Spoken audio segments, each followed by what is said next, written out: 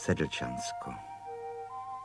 Zapomenutý kraj žulových kamenných stát a rozlehlých polesí bývalo ve správním rozdělení přemyslovských Čech zváno krajem vltavským. Stalo se kolébkou nejmocnějšího z českých panských rodů, Vítkovců, erbu červené pětilisté růže.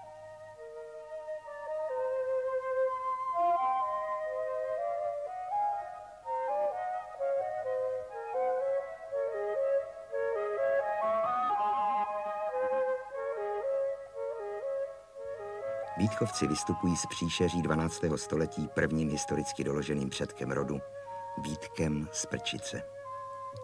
K němu se váže stará rodová pověst o dělení růží, dle které praotec Vítek, maje syny vzrostlé, podělil je díly otcovskými a každému z nich odkázal růži, svoje znamení erbovní, ale v rozličných barvách. Nejstaršímu Jindřichovi dal modrý štít a růži zlatou tomu kraj kolem Hradce, který dostal po něm jméno Hradec Jindřichův.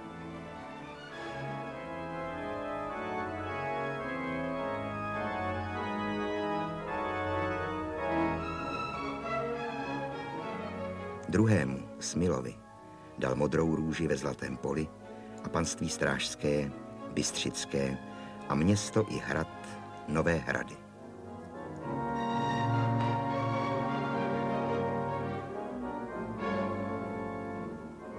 Třetí syn, Sezima, sice nebyl z téhož manželství, ale že ho otec miloval, dostal do znaku také růži, ale černou. A panství ústecké na lužnici řece. Další ze synů, Vilém, obdržel růži bílou na červeném štítě a panství Třeboňské a Lanštejnské s mocným pomezním hradem nejmladšímu a nejmilejšímu synu, Bokovi. Zanechal rodové znamení růže červené na štítu bílém a panství rožmberské a krumlovské.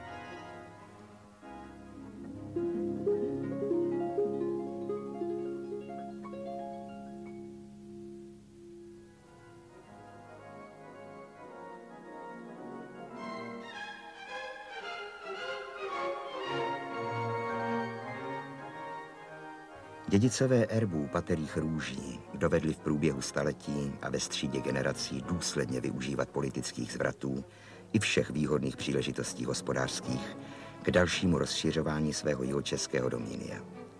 Zároveň pečlivě střežili vnitřní jednotu členitého rodového panství. Na počátku 14. století se stane hlavním sídlem rodu Krumlov. Patřil vždy nejstaršímu členu rodu – který se stal správcem celého rodového jmění a užíval titulu vladař. Zatímco ostatní příslušníci rodu dostávali pouze dočasně v užívání určité podíly na majetku a nesměli je bez souhlasu vladaře prodat ani vyměnit. Ve druhé polovině 16. a na počátku 17. věku zasahují Rožnberkové do neklidných dějů Českého království naposledy. V osobě Viléma z Rožnberka který si od mládí kladl smělý cíl obnovy slávy rodu, vyrostla důležitá osobnost českého veřejného života.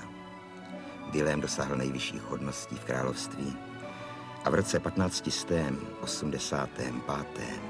je vyznamenán i nejvyšším vyznamenáním katolického rytířstva, řádem Zlatého rouna.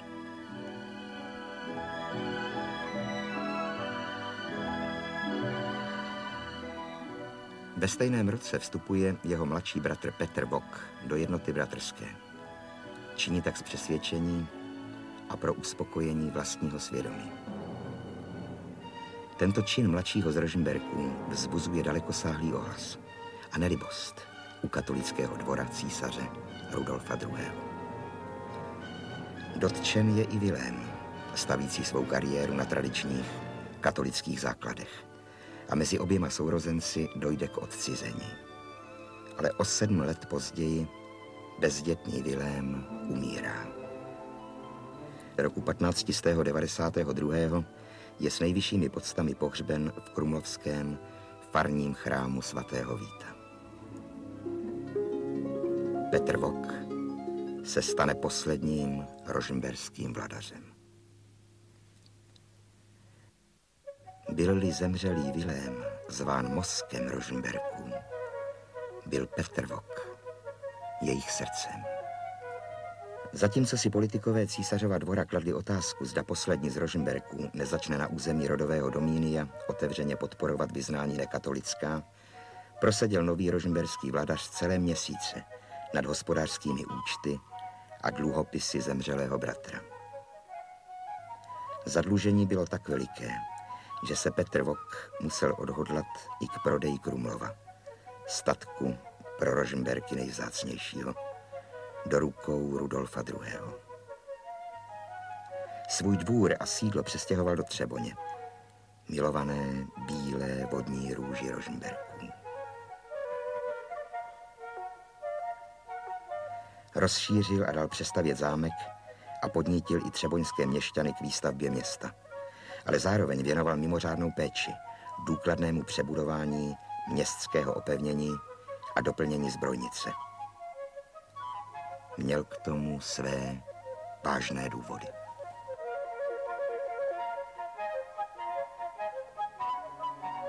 Petr Vok byl vždy velmi dobře informován o vývoji událostí a předvídal možnost válečného střetnutí mezi nekatolíky a katolickou stranou, přecházející na předělu 16. a 17. století do ofenzivy. Byla to perspektiva pesimistická, ale vývoj událostí dal Vokovi za pravdu. Císař Rudolf, donucený většinou českých stavů k vydání majestátu, zaručujícímu v království svobodu vyznání, se s vývojem situace nesměřoval. Z jeho utajeného podnětu naverboval Leopold Pasovský žoldácké vojsko, které vtrhlo překvapivě do Čech. Kudy pasovští táhli, tudy loupili, pálili, vraždili a vymáhali výkupné. K ovládnutí království bylo žoldnéřů málo, ale škody a běd dokázali napáchat za několik armád. Zatímco císař uvažoval, zda se má k pasovským znát a vyplatit je, počali stavové svolávat zemskou hotovost. Pasovští proto urychleně ustoupili od Prahy do jižních Čech. Opevněná Třeboň se v ten bědný čas stala útočištěm pro obyvatelstvo ze širokého okolí. Protože pomoc nepřicházela, zasáhl Petr Vok do vyjednávání s veliteli pasovského vojska a zavázal se k vyplacení dlužného žoldu z vlastních prostředků.